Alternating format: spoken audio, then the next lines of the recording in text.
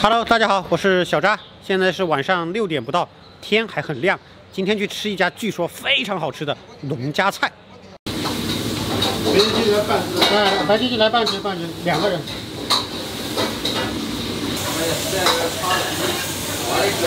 半个鸡啊！嗯，别进去。这白切鸡不错，鸡皮正黄正黄的，它应该用的是这边的本鸡，这边的本鸡不是很嫩的，可能会柴，吃一下吧，加点酱油。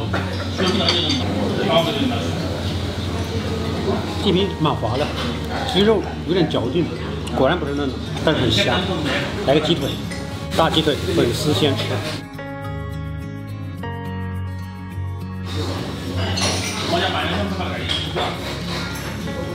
嗯。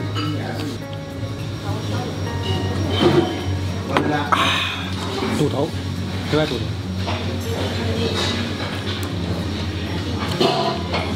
最后一把，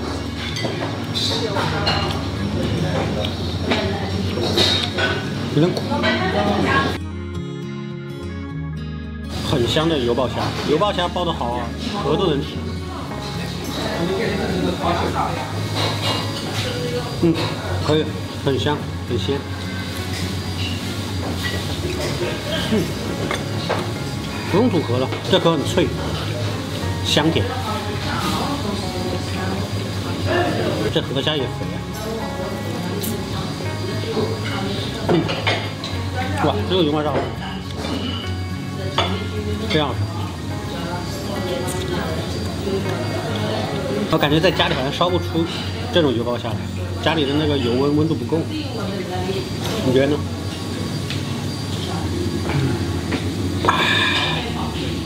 ？Oh my god！好久没吃到这么美妙的油爆虾，虾肉的鲜美细嫩，虾壳的脆香口感，加上恰到好处的酱汁烹调，这一口一口根本停不下来。这些特色菜韭菜炒鱼子，是。嗯，哇。韭菜的鲜甜和鱼子的鲜甜充分释放，好吃啊！一口春夏之交，吃进口里。这里一块很大的鱼子，包点韭菜，一口没。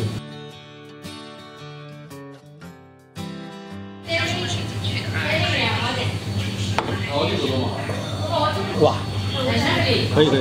我点这些菜不是我一个人吃，要么吃完，要么打包。大发现在这上人了，生意很好。臭豆腐蒸千张包也是这边特色菜，我很喜欢吃臭豆腐。臭豆腐刺身、臭豆腐油炸，我都吃过。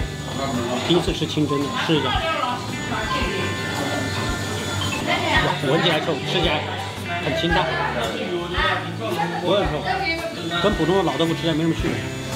我吃一下这个千张包啊，千张包鼓鼓满满的。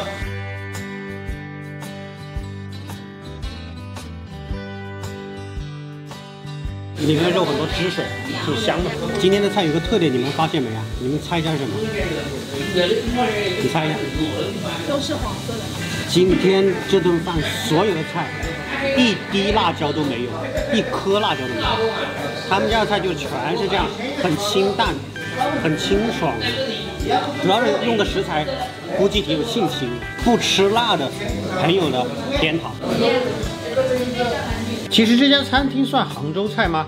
我觉得也不尽然，食材新鲜，东西好吃，生意自然就好。那么好了，这期视频就到这里喽，小伙伴们记得点赞收藏，我们下期见，拜拜。